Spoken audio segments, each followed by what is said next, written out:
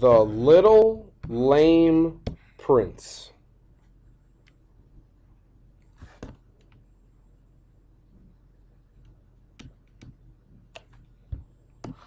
Chapter 1 Yes, he was the most beautiful prince that ever was born.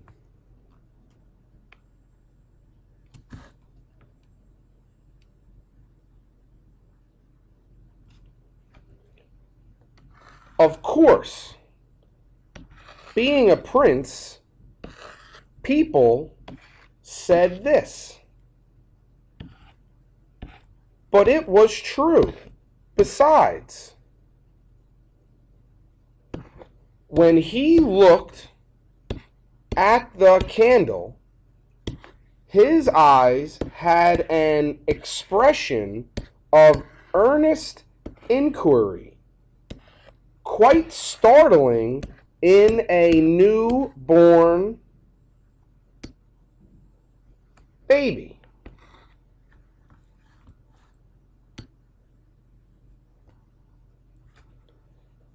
His nose, there was not much of it, certainly. But what there was seemed an aquiline shape.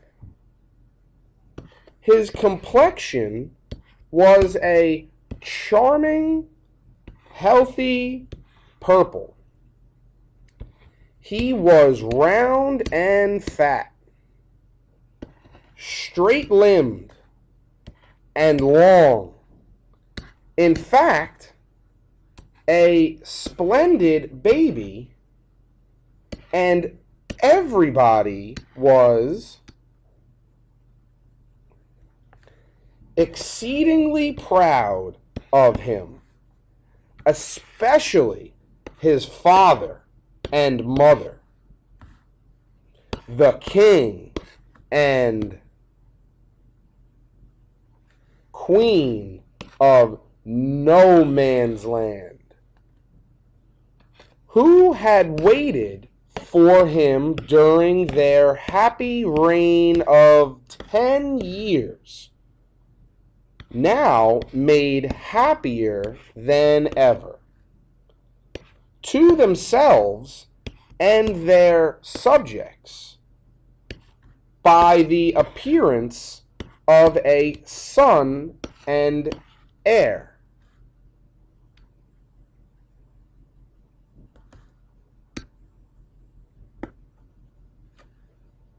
The only person who was not quite happy was the king's brother the heir presumptive, who would have been king one day had the baby not been born. But as his majesty was very kind to him, and even rather sorry for him, in so much that at the queen's request, he gave him a dukedom almost as big as a county. The crown prince, as he was called, tried to seem pleased also, and let us hope he succeeded.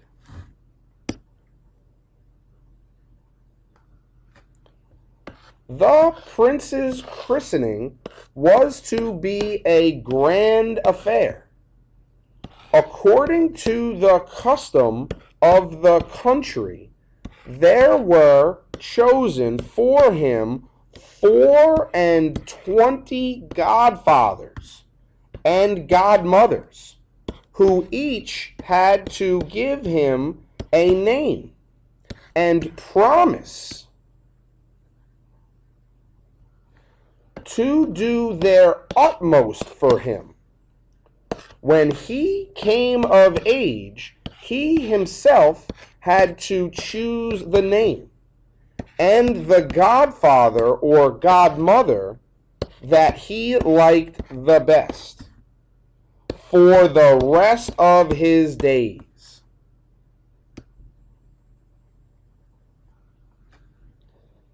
Meantime, all was rejoicing. Subscriptions were made among the rich to give pleasure to the poor. Dinners in town halls for the workingmen. Tea parties in the streets for their wives.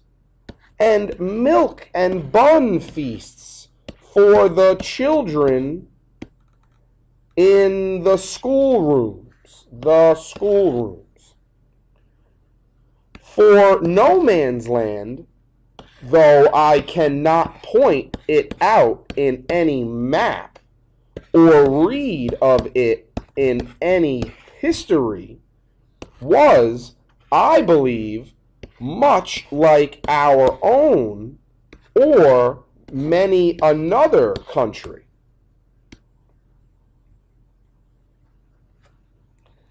As for the palace, which was no different from other palaces, it was clean, turned out of the windows, as people say, with the preparations going on. The only quiet place in it was the room which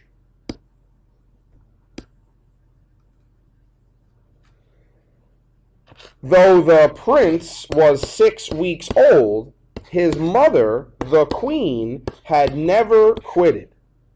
Nobody said she was ill. However, it would have been so inconvenient. And as she said nothing about it herself, but lay pale and placid, giving no trouble to anybody, nobody thought much about her. All the world was absorbed in admiring the baby. The christening day came at last and it was as lovely as the prince himself.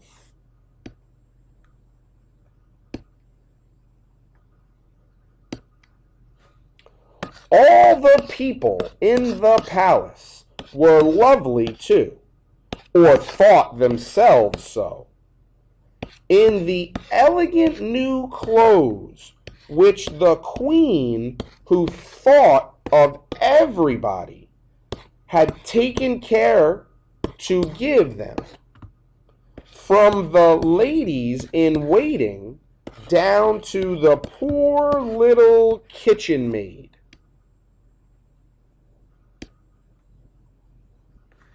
Who looked at herself in her pink cotton gown and thought, doubtless, that there never was such a pretty girl as she.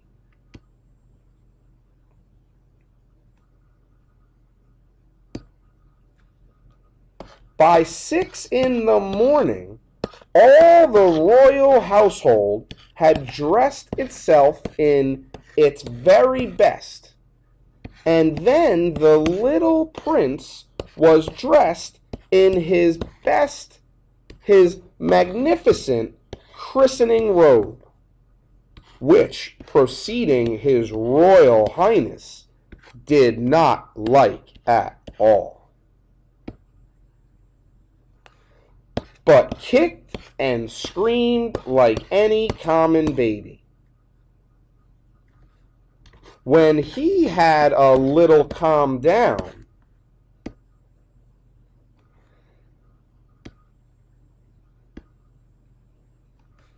they carried him to be looked at by the queen.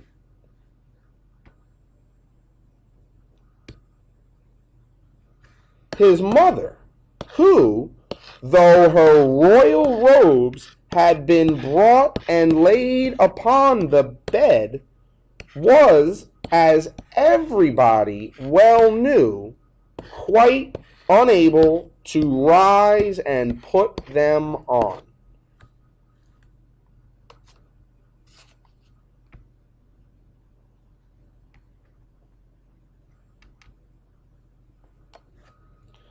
She admired her baby very much, kissed and blessed him, and lay looking at him as she did for hours sometimes. When he was placed beside her fast asleep, then she gave him up with a gentle smile and saying she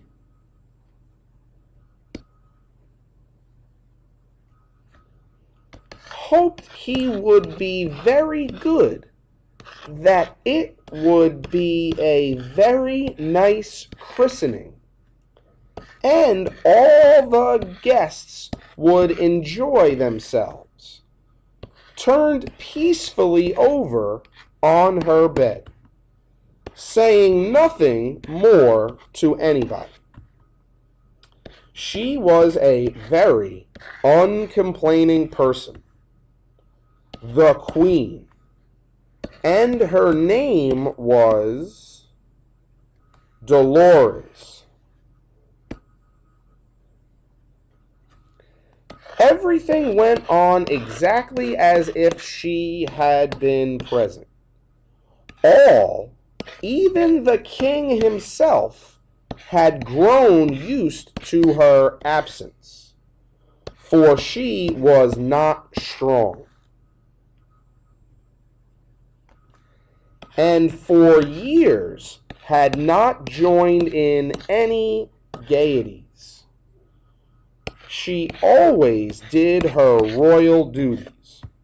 But as to pleasures, they could go on quite well without her, or it seemed so. The company arrived, great and notable persons in this and neighboring countries. Also, the four and twenty godfathers and godmothers who had been chosen with care as the people who would be most useful to his royal highness should he ever want friends, which did not seem likely. What such want could possibly happen to the heir of the powerful monarch of no man's land.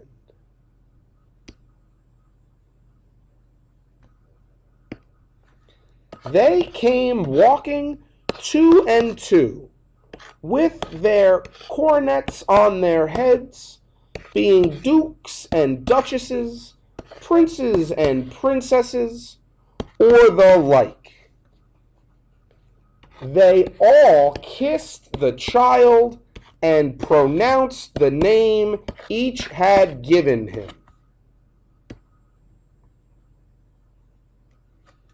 Then the four and twenty names were shouted out with great energy by six heralds, one after the other, and afterward written down to be preserved in the state records. In readiness for the next time they were wanted, which would be either on his Royal Highness's coronation or his funeral.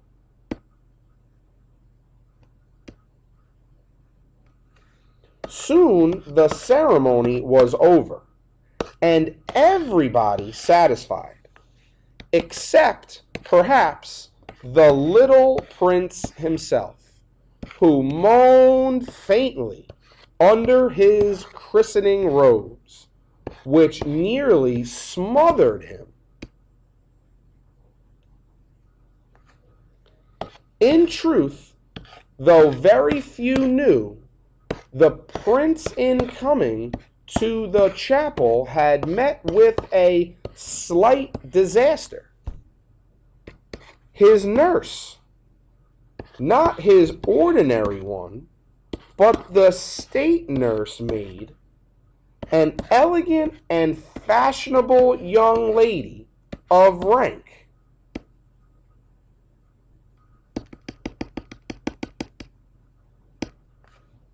whose duty it was to carry him to and from the chapel, had been so occupied in arranging her train with one hand while she held the baby with the other that she stumbled and let him fall just at the foot of the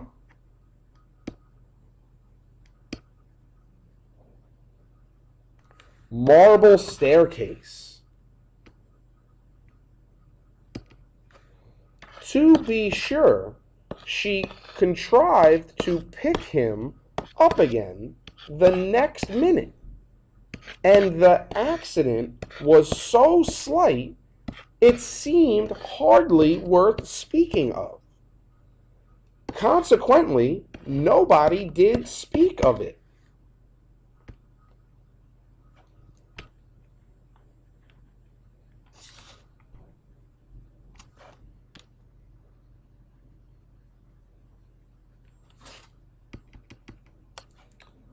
The baby had turned deadly pale, but did not cry. So no person, a step or two behind, could discover anything wrong. Afterward, even if he had moaned, the silver trumpets were loud enough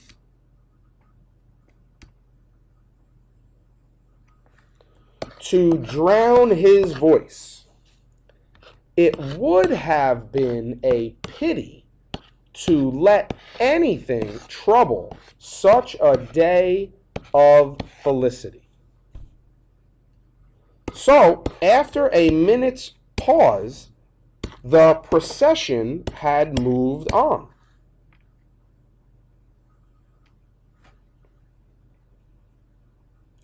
Such a procession.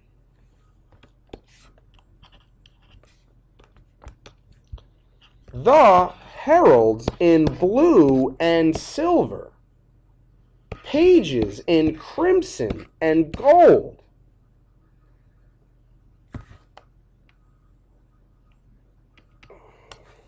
and a troop of little girls in dazzling white carrying baskets of flowers, which they strewed all the way before the nurse and child. Finally, the four and twenty godfathers and godmothers, as proud as possible, and so splendid to look at that they would have quite extinguished their small godson, merely a heap of lace and muslin with a baby face inside.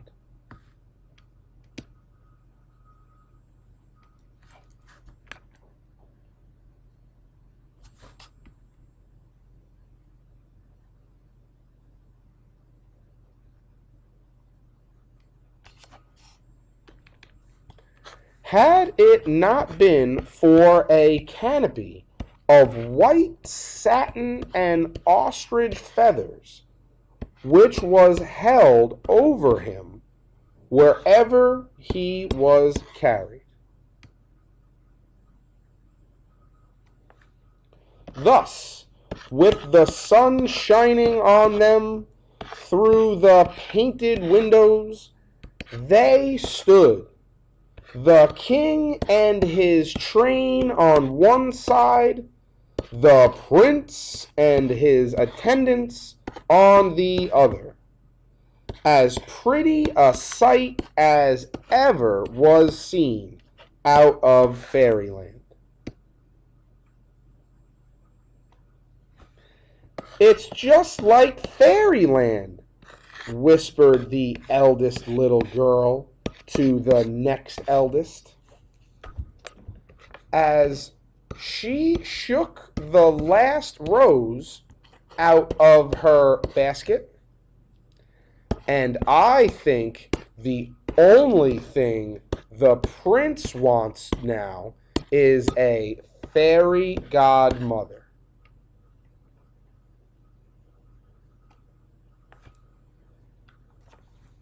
Does he?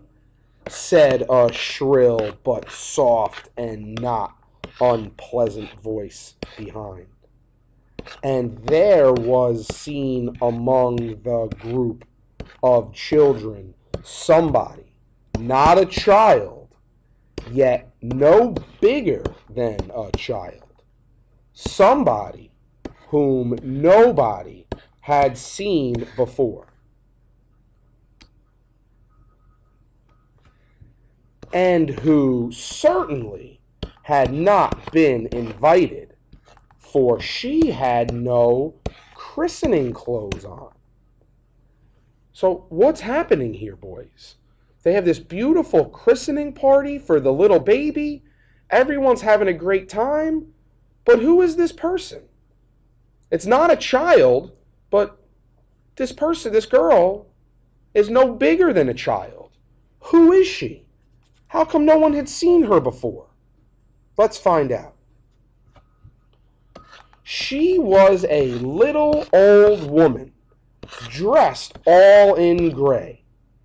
Gray gown, gray hooded cloak, of a material excessively fine,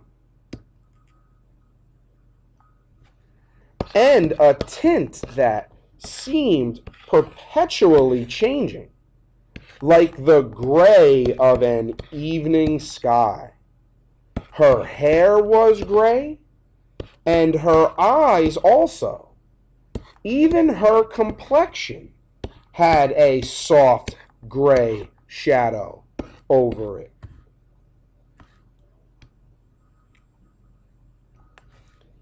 But there was nothing unpleasantly old about her. And her smile was as sweet and childlike as the prince's own, which stole over his pale little face the instant she came near enough to touch him.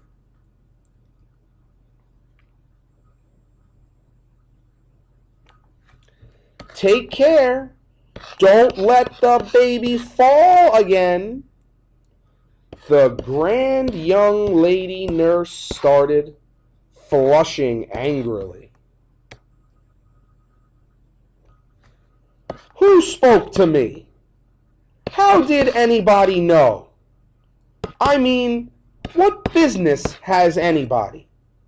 Then, frightened, but still speaking in a much sharper tone, than I hope young ladies of rank are in the habit of speaking.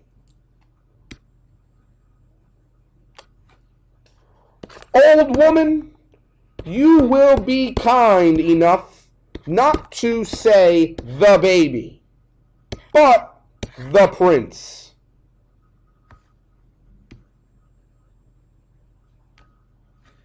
Keep away. His Royal Highness is just going to sleep.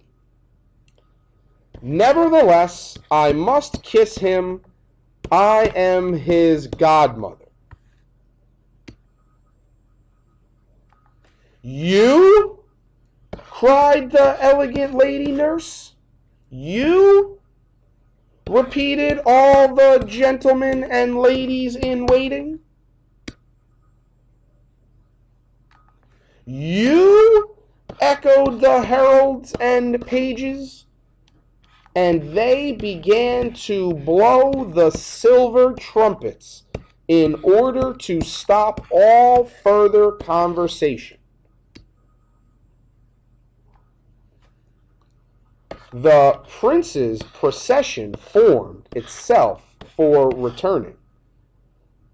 The king and his train having already moved off toward the palace. But on the topmost step of the marble stairs stood, right in front of all the little old women clothed in gray.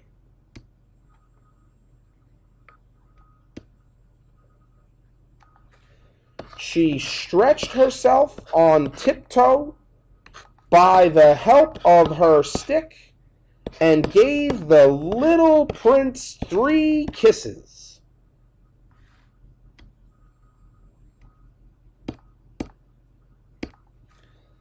This is intolerable, cried the young lady nurse, wiping the kisses off rapidly with her lace handkerchief such an insult to his royal highness. Take yourself out of the way, old woman, or the king shall be informed immediately.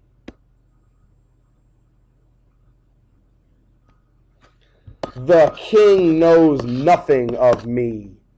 More's the pity, replied the old woman with an indifferent air, as if she thought the loss was more on his majesty's side than hers. My friend in the palace is the king's wife.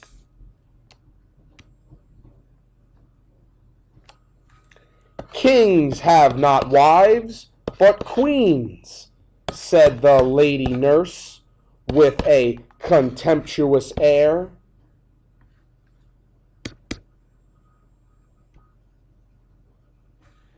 You are right, replied the old woman. Nevertheless, I know her majesty well, and I love her and her child. And since you dropped him on the marble stairs. This she said in a mysterious whisper, which made the young lady tremble in spite of her anger. I choose to take him for my own and be his godmother, ready to help him whenever he wants me. You help him?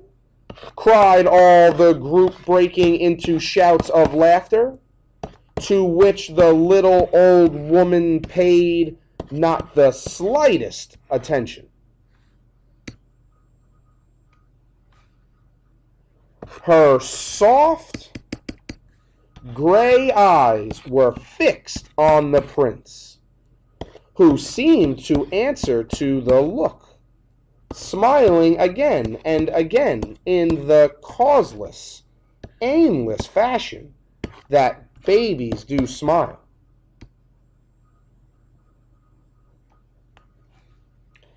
His Majesty must hear of this, said a gentleman in waiting. His Majesty will hear quite enough news in a minute or two said the old woman sadly.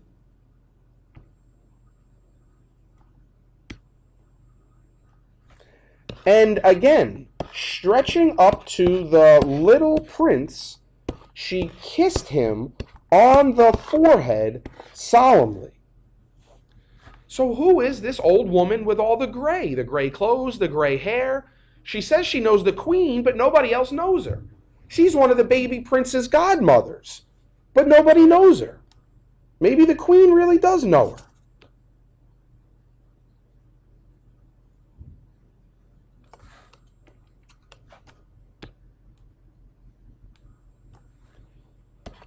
Be called by a new name which nobody has ever thought of. Be Prince Dolor in memory of your mother, Dolores.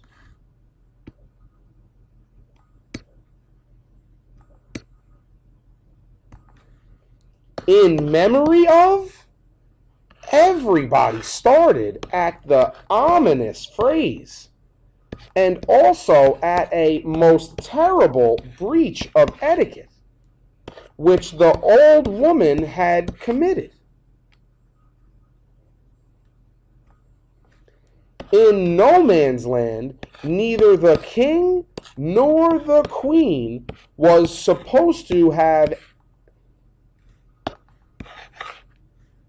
was was supposed to have any Christian name at all.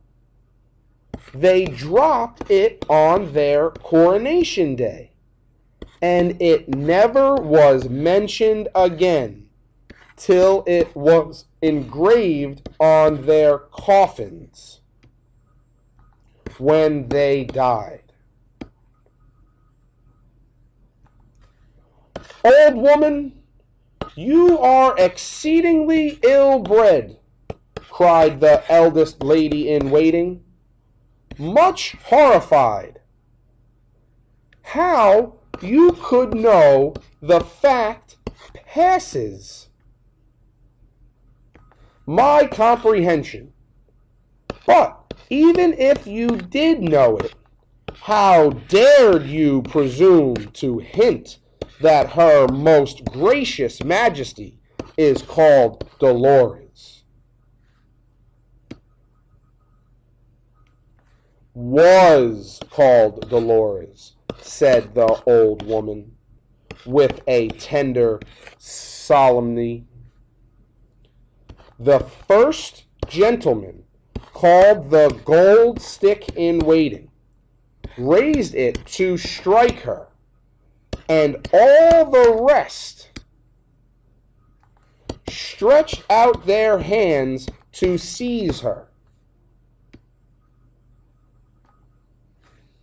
But the gray mantle melted from between their fingers like air and before anybody had time to do anything more, there came a heavy, muffled, startling sound. The great bell of the palace, the bell which was only heard on the death of some one of the royal family, and for as many times as he or she was years old, began to toll. They listened, mute and horror stricken. Someone counted one, two, three, four, up to nine and twenty just the queen's age. Oh my goodness. Did the queen pass away? They only ring that bell if someone in the royal family passes away. And they rang it 29 times because the queen's 29. Oh my goodness, who is this woman? How did she know that the queen passed away?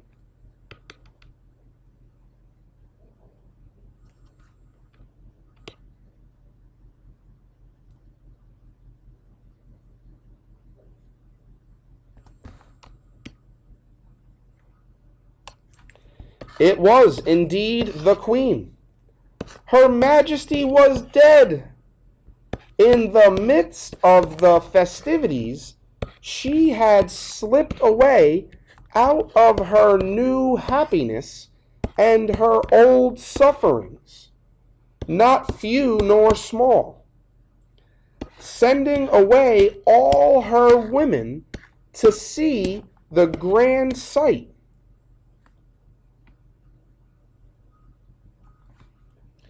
At least they said afterward, in excuse, that she had done so, and it was very like her to do it. She had turned with her face to the window, whence one could just see the tops of the distant mountains, the beautiful mountains, as they were called, where she was born. So gazing, she had quietly died.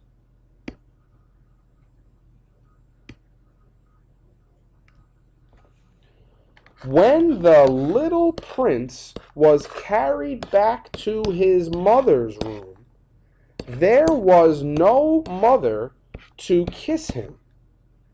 And though he did not know it, there would be for him no mother's kiss any more.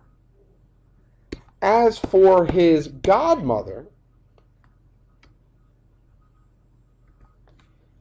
the little old woman in gray who called herself so, whether she melted into air like her gown when they touched it, or whether she flew out of the chapel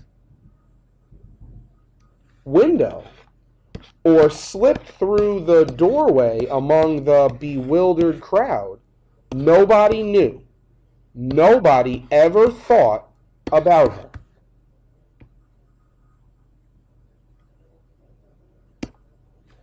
Only the nurse, the ordinary, homely one, coming out of the prince's nursery in the middle of the night in search of a cordial to quiet his continual moans. Saw sitting in the doorway something which she would have thought a mere shadow had she not seen shining out of it two eyes, gray and soft and sweet she put her hand before her own, screaming loudly. When she took them away, the old woman was gone. What? How did that happen?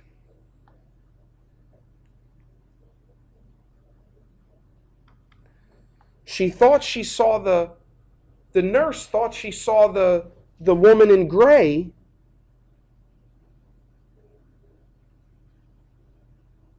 and she put her hand up over her mouth and screamed but when she moved her hand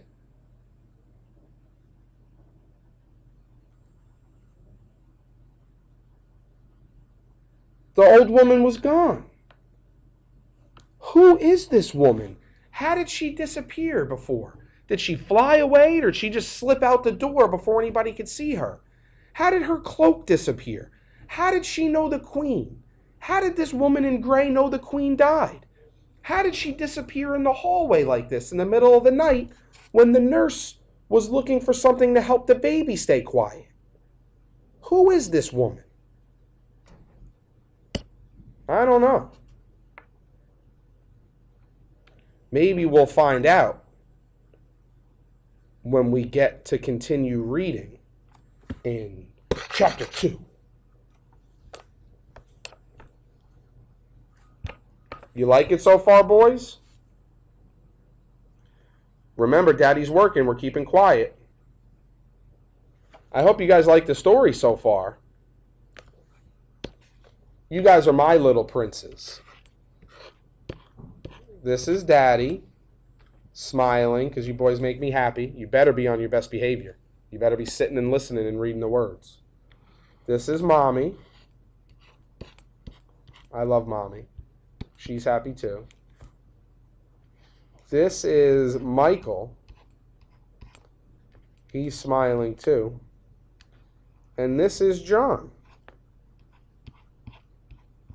He's smiling too.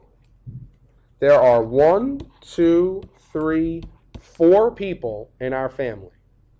And I love all of my family with a big heart. Uh, you know what? Let me make that even. Let me make that even better. Let me make a nice big red heart.